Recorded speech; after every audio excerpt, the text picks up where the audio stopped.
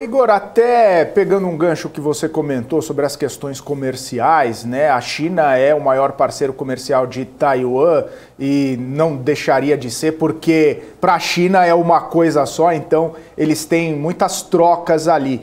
E a gente estava vendo essa relação porque Taiwan é, é o maior fabricante ali de chips, semicondutores, distribuidor mundial e até mesmo muitas fábricas, algumas fábricas de Taiwan estão vendo de fazer, é, abrir seus negócios, montar fábricas nos Estados Unidos. A gente até falou da maior fabricante de chips, a TSMC, que pretende colocar uma instalação no Arizona, lá nos Estados Unidos.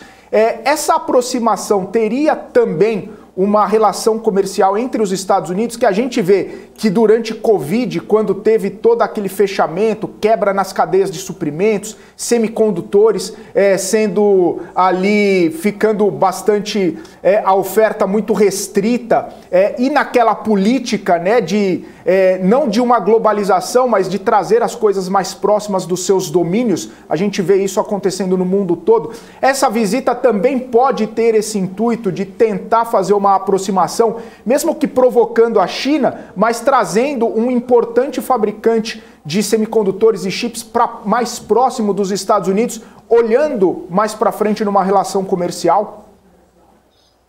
Não há dúvida. Uh, a fábrica no Arizona já está em construção, é uma das maiores construções dos Estados Unidos. Eu vi recentemente um documentário o quão importante vai ser essa fábrica, porque ela vai abastecer todo o mercado norte-americano, o mercado canadense, uh, o México, e deve inclusive abastecer parte uh, do nosso mercado. Esses chips vão ser trazidos dos Estados Unidos para a região da, da Amazônia, né, da Zona Franca de Manaus, para a produção de computadores.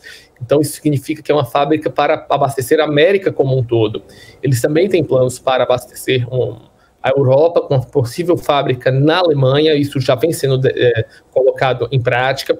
E um ponto fundamental, além disso, é o aumento das linhas de crédito de swap de dólares por, pelo novo dólar de, de, de Taiwan, que basicamente triplicou nos últimos meses do, do Federal Reserve com o Banco, o Banco Central de Taiwan. Isso mostra que existe uma visão de política é, monetária, comercial um alinhamento maior com Taiwan.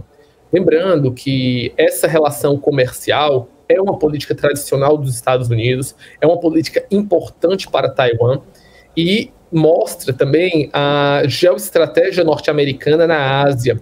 Os Estados Unidos fizeram acordos com o Japão para a construção de bases militares conjuntas nas ilhas ao sul do Japão, que fica muito próximo de Taiwan, para o caso de uma defesa uh, militar naquela região.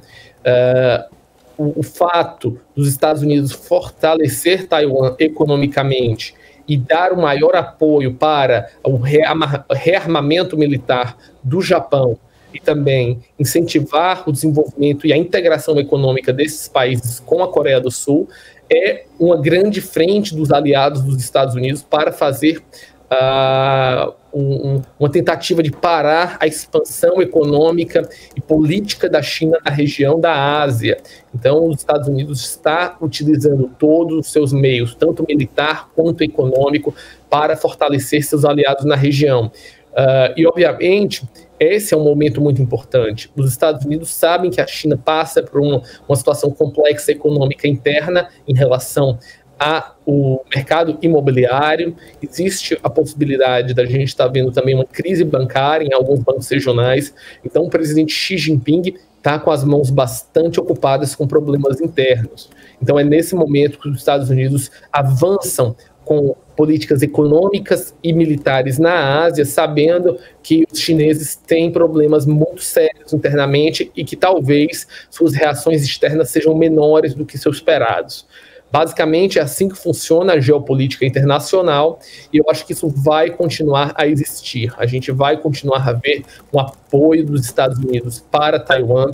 Acordos comerciais uh, e de vendas militares devem ser anunciados nas próximas semanas. Essa visita não é uma visita meramente protocolar de Nancy Pelosi. Acredito que algum recado econômico ou militar foi passado diretamente para o presidente Tsen então, dentro desse contexto, a gente está vendo uma redefinição da importância norte-americana na Ásia e como os Estados Unidos vai se tornar um mercado mais aberto para os países asiáticos aliados. Tudo isso, claro, é fazendo frente à questão chinesa de expansão internacional. Né? Os Estados Unidos tentam conter é, há muito tempo e o presidente Biden está tentando ser mais assertivo dentro desse contexto.